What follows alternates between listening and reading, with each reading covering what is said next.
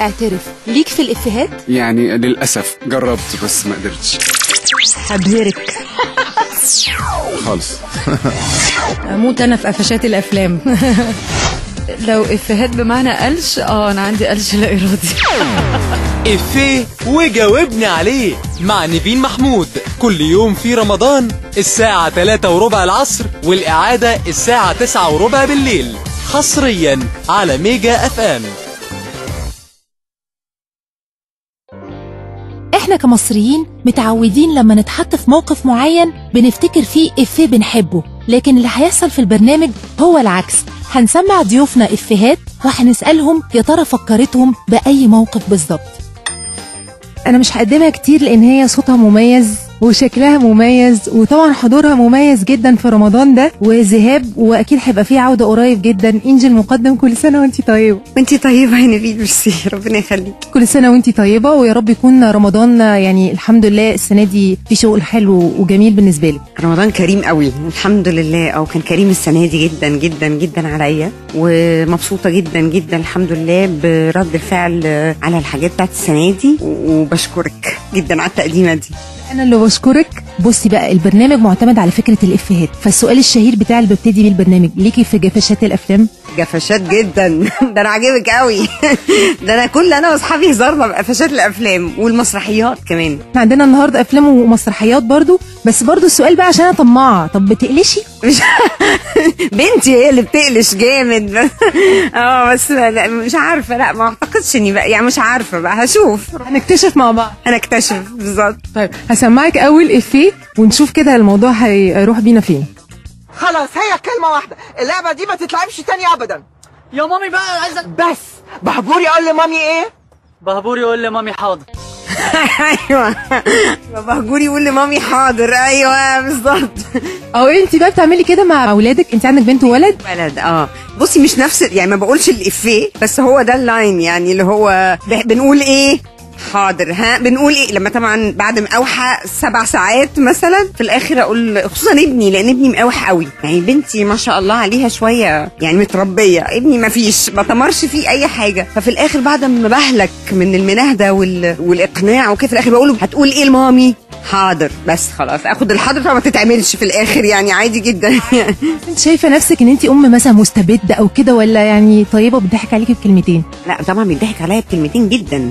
جدا. بس أنا أم مجنونة شوية. يعني أم ممكن تدلع تدلع تدلع جدا جدا جدا وتبقى متعاونة ومتساهلة ومتسامحة وفجأة تقفش. ما تسألنيش إيه اللي بيحصل لي. بس أنا ببقى بحاول أكون صبورة صبورة في الآخر بعد فترة طويلة من الصبر أقوم قفشة قفشة بقى قلبة الوحش. يعني أنا دلوقتي كمان اللي طالع عليا في البيت من ولادي وبالذات من بنتي طبعا لأن هي الأكبر إن خلي بالك الوحش. يعني اللي هو إيه في الوحش هيطلع. ها في الوحش هيطلع كمان شوية. بتعرف إمتى هتحول؟ فأنا بتحول. يعني بفضل كده لطيفة وبعدين فجأة أتحول. طب وأنت كطفلة بقى أنت مع مامتك كنت عاملة إزاي؟ لا كنت فظيعة شقية جدا جدا ما بسمعش الكلام خالص. وأنا كنت طفلة وحيدة كنتش متدلعة بس كنت شقية وما بسمعش الكلام. ولدرجة إن هم ودوني للدكتور. ودوني لأن أنا كنت ما بقعدش على حيلي ابدا يا نيفين. طول الوقت أنا يا إما ماشية فوق كراسي يا إما ماشية فوق ظهر الكنب. يعني عشان أقعد أتفرج على التلفزيون لازم أقعد رجلي فوق وراسي تحت أقعد بالشقلوب. حركة دائمة. ما بقعدش على حيلي لدرجة إن أنا أمي كانت تقول لي لو قعدتي خمس دقائق على بعضك اديكي جنيه. كنتش باخدهم برضو خالص. ما كنتش بقعد على بعضي فودوني للدكتور طلع إن أنا hyperactive عندي آه طاقة زايدة وقالوا لأهلي لعبوها رياضة. لعبوني كل الألعاب بس ما فيش يعني لا كنت شقيه قوي طيب نكتشف بقى حتة تانية في حياة إنجي المقدم. إيه اللي جرالك يا سرية؟ إيه اللي حصل؟ قولي لي عايزة إيه بالظبط؟ انطقي قولي عايزة إيه؟ عايزة ورد يا إبراهيم. نعم. عايزة ورد. إيه ما سمعتش؟ كم مرة بتقولي بقى عايزة ورد؟ أنا جوزي كريم جدا بس مش رومانسي خالص. يعني بصي هو عملي جدا وبيحبني أنا عارفة بس ما يوريش ولا يتكلم ولا ينطق. بيجيب ورد؟ لا. فضحته. يمكن تبقى دي رسالة. هقول لك حاجة. هو بيجيب بس عارفة تحسي اللي هو إيه؟ اللي هو مش انت بصدق الورد اتفضلي يا ستي ورد. مش اللي هو مثلا الله نجيب ورد وأجيب لها ورد وكده وعاطفي ورومانسي وكده خالص. لا انت بتحبي الورد؟ اتفضلي أهو. مش عايزة أهو. الحمد لله. المهم إنك بتشوفي الورد في الآخر. شوفوا. في المناسبات. هاي بيستعبط. عمر؟ أيوه. المفروض إن إحنا اتفقنا إن إحنا نكون اصحاب وبس لكن هو كل شوية عمال يحاول كده ينبط على أيام ما كنا بنحب بعض. طب هو بقى لما بيستعبط أنت بيبقى رد فعلك إيه؟ اسطى طبعا. ده أعتقد الإفيه الشهير بتاع كل الستات بستعبط أه. إمتى؟ لا بستعبط طبعا ساعات يعني. لما أبقى عاملة عاملة مثلا عارفة إن أنا عاملة حاجة غلط وأجي يقول لي إيه في إيه عادي يعني. عمرك ما بتحبي تعترفي إنك غلطان؟ لا إحنا ما نعترفش ابدا. ولو إن بصي ابتديت أعود نفسي إن أنا لازم لما أبقى غلطانة أعترف. بالسليقه كده بالطبيعة لا. أنا لو سبتيني بطبيعتي لا طبعا. واقلب الترابيزة. يعني كمان زعلانة مني؟ انت إزاي تجرؤي تزعلي مني؟ واقفش. مين اللي بيقفشك وانت بتستعبطي بقى؟ سوري يعني. جوزي طبعا واصحابي خلاص فقسوني رسمي.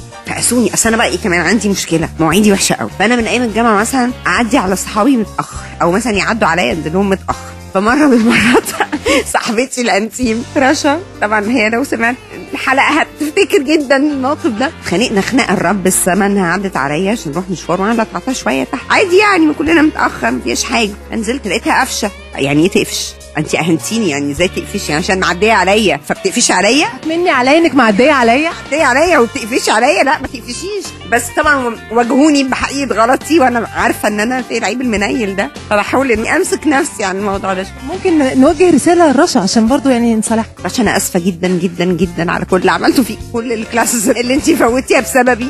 كل المواعيد كل التهزيق اللي خدتيه من أهلك عشان روحتي متأخر بسببي. غير ريم وغير داليا ورانيا و... فيديا يا يا انجي قولي ضيعت مستقبلها. شلة كاملة متكامله يعني. يعني. حصل خير عامة. انت بتصالحيهم كلهم دلوقتي. طيب نسمع الإفيه اللي بعد بيفكر بالصيني. بيفكر بالصيني. مين الناس اللي انت بتشوفيهم ان هم بيفكروا بطريقة صيني طريقة مختلفة تماما؟ يعني اللي هو بتفكر إزاي؟ في حد في حياتك كده؟ يوه كتير. كتير جدا. إيه نيفين ده؟ تهزري ولا إيه؟ أنا من كتر ما بقيت بشوف الناس اللي هو أنتوا إزاي بتفكروا كده؟ خل- بطلت اتكلم عارفة اللي هو من كتر الاندهاش. ولا أي اندهاش. هتكلميهم دول تقولي لهم إيه؟ يعني هتقولي لهم إيه؟ خلاص تسكتي بقى. كتير كتير. الفترة الأخيرة مثلا في السياسة والحاجات دي طبعا كل واحد حقه إن هو يفكر بطريقته. بس من كتر ما أنا بقيت بشوف إن معظم الناس بقيت بتفكر بطريقة مختلفة عن اللي أنا بفكر فيها يمكن أكون أنا غلطانة بقى. معرفش فبقيت أسكت. كبرتي دماغك. كبرت دماغي ده تماما. بقيت عايشة في بابل بقى دلوقتي. آخر بقى إفيه دايما بنختم بيه كده أنت عارفاه. سؤال صعب. سوم الفنان يقول إيه لسوم الإنسان؟ وحشتني قوي. ما تيجي بقى. أنت فين؟ بموت في الإفيه ده. انجي المقدم الفنانة تقول إيه؟ الانجي المقدم أنا هنهزر؟ آه ليه؟ إحنا جايين نهزر. توقعتهاش منك دي. مفيش حاجة دايما بتحاولي تفكري نفسك بيها. يعني خصوصا إن انت شغلك أكيد بياخد وقت طويل من حياتك من تركيزك. في حاجة بتحبي دايما تفكري نفسك بيها. دايما بفكر نفسي إن ده زايل آه طبعا مهم إن تفكري في شغلك وفي مستقبلك وفي الكارير بتاعك و... بس ما تحاوليش إنه ده يبقى كل حياتك. فتفقدي بقى في الطريق صحابك وعلاقاتك وعيلتك وولادك يعني الأبقى هو عيلتك وصحابك وولادك. ما تجيش عليهم. فدايما أفكر نفسي ان لازم أعمل المجهود الزيادة إني ما يشفطنيش العالم ده عن حياتي بتاعتي. ما يلحش دماغي عارفة؟ أصل ال أي حاجة فيها كاميرا وشهرة وبتاع دي بتلحس الدماغ. أنا مبسوطة جدا إن أنا قابلتك النهارده والحمد لله لحقنا آخر كام يوم في رمضان بعد ما خلصتي التصوير ولا لسه ما خلصتيش؟ خلصت يا نيمين الحمد لله حتى آخر نفس عارفة؟ لحد يوم 28 رمضان.